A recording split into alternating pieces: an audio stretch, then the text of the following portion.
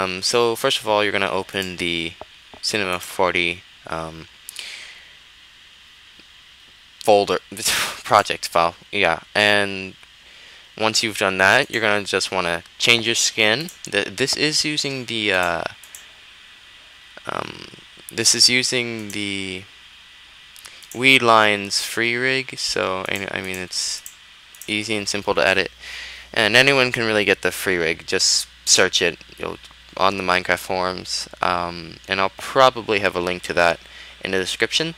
Um, so right, anyways, so once you've opened the Cinema 4D project, change the skin by going to custom skin, clicking that, and then uh, finding your skin. Once you found your skin wherever it is, um, you're also going to want to uh, change the text because otherwise you don't, you you don't want to say name unless your new YouTube name is in fact name, which will be interesting if someone actually has that name. So you just change the name to whatever it is you want it to be. There we go. You might have, and depending on how long your name is, um, you might have to uh, change up how the text come in, comes in with the plane right here. And all you're going to have to do, depending on how long it is, like my name probably is a bit too big for it. Um, yeah, it's still going to have some space. So what you're going to, if your name is still a bit too long, what you want to do is go click on the plane and then just pull it a bit further until you get the full name and then press keyframe. Well, record active object, whatever.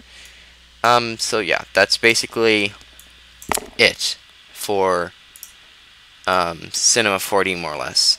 Now, I use global illumination in this, so it will take a bit of time to render it out. So if you do want it to render faster, but the lighting won't be as good, you can get rid of global illumination and it'll just render like this, which is faster than using global illumination.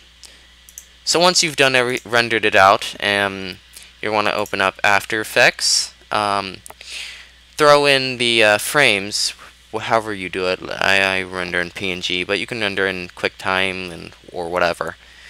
So anyways, once you've done that, um, you just want to open up. Well, before you do anything, do not delete this because this has all the uh, screen pumps and uh, fade in, fade out. So all you need to do is, I would throw it in first. I would first throw in your frames with the custom animation. Uh, copy everything you see here, like copy the scale. I'm gonna just paste it like that, uh, and it should work. Yep. You just copy the scale, go to effects, copy the brightness and contrast, paste it into your, the your frames and then copy the opacity paste that in and then there we go.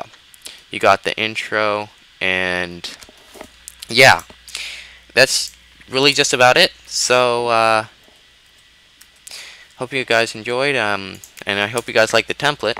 Um, I actually sure did. This seems sort of I don't know if I've seen anything like this before, just like unique.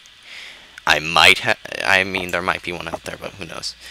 Anyways, that's basically it for uh, the template. All you need to do is, uh, come on, there we go. Export and render.